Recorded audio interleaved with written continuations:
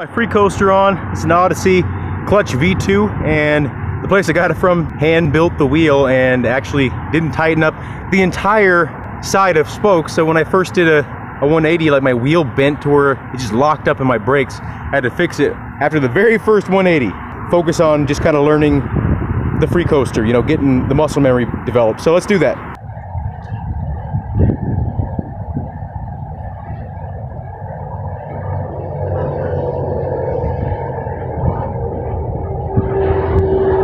Basically, if this was like a huge, you know, stadium-sized parking lot, I could probably go as far as I want. So I'm gonna try to go a little bit slower and see if I can just half cab or slider or something of it. Gotta rely more on your body.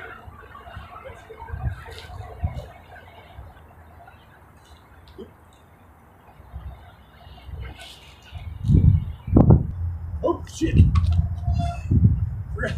Forgot to disengage the coaster.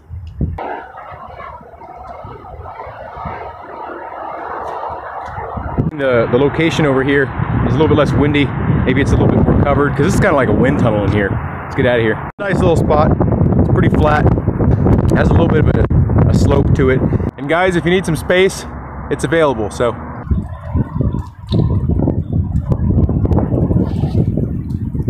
One thing I noticed is it gives you a lot more confidence to go faster backwards because you don't have to worry about backpedaling as soon as you land. So that's, that's a pretty big factor there.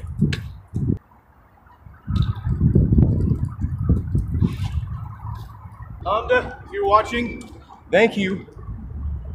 I'm digging free coasters. I still gotta get used to it and stuff, but I can see this being a real benefit to my riding.